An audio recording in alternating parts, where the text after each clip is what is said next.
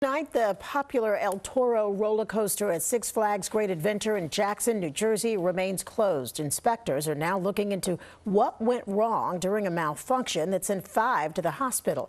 Reporter John Paul with our sister station WPVI has more.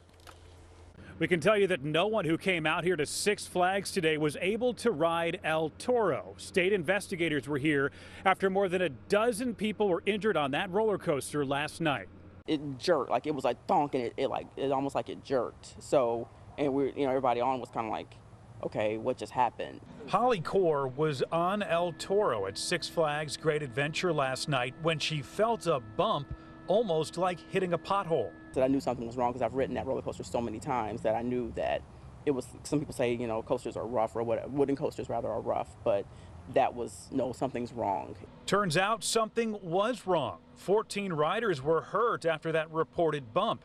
Five of those people had to be taken to the hospital with injuries to their neck, back, mouth, and tongue.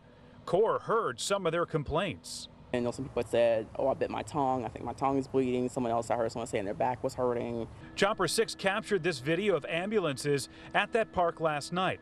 Six Flags told us today all the people injured have been released from the hospital. The New Jersey Department of Community Affairs says there were reports of a loud bang and jolting during operations, but they're not yet sure what caused it. This incident comes after the ride had to be shut down last year when it derailed. It didn't reopen again until this year. That all changed last night. The ride will remain closed while it's inspected. Park goers we talked to today hope that Six Flags keeps a closer eye on the ride. It's concerning. Maybe they need to do some more checks or something beforehand, you know? Yeah. Do some more testing. So the question remains tonight what caused this? Well, we don't have that answer tonight, and until that answer comes in, the ride will remain closed.